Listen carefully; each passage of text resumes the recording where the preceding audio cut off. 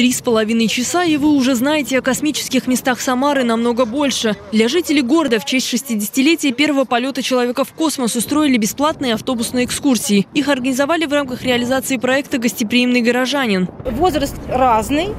Вчера, например, у нас э, были экскурсантки, которые прекрасно помнят день 12 апреля 1961 года. Это было очень ценно. Они рассказали о своих там, впечатлениях, поделились воспоминаниями с молодыми э, горожанами. Такие экскурсии, это, конечно, очень ценно, чтобы молодежь знакомилась с историей и нашего города, и страны. И не говорили, что в Самаре нечего смотреть. У нас есть что посмотреть. Нам есть чем похвалиться и чем гордиться. Всего пять локаций для посещения. Одна из них – площадь Дмитрия Козлова. Здесь находится музей «Самара Космическая». Ее фасад украшает настоящая ракета «Союз» высотой 55 метров. Также к юбилею здесь организовали космические инсталляции. Экскурсионная группа посетила также парк Гагарина, университет имени Сергея Королева, площадь Славы и сквер первых космонавтов, о котором жители города знают не так много. Несмотря на то, что мы живем в этом городе, мы многие вещи какие-то не знаем. И поэтому вот сегодня так по крупицам восполнили какие-то белые пятна сквер космонавтов.